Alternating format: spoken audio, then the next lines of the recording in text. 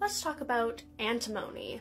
Antimony is an element on the periodic table. It's naturally occurring in the Earth's crust and is this kind of rather brittle silvery metal. It has many, many industrial uses and is used to make a bunch of different compounds and other stuff. However, it is also incredibly toxic. It has a mechanism of action quite similar to how arsenic works, and kind of the main problem it causes is stops the activity of a bunch of different enzymes. It also destroys your red blood cells, which is an entire other problem. Symptoms include things like stomach issues, as well as nausea, vomiting, bloody diarrhea, as well as eventual kidney failure, which is one of the larger causes of death due to antimony poisoning. The lethal dose for antimony does vary quite widely between individuals, but is usually between 100 to 200 grams. There's also no real treatment or antidote to antimony poisoning,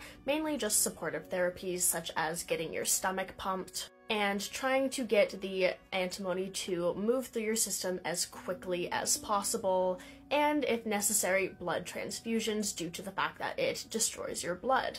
Now, antimony has been used as a poison, but also has other historical uses dating back even thousands of years, where it was used in kohl makeup in ancient Egypt, and it does still have modern uses such as as a flame retardant or in batteries, among a bunch of other things.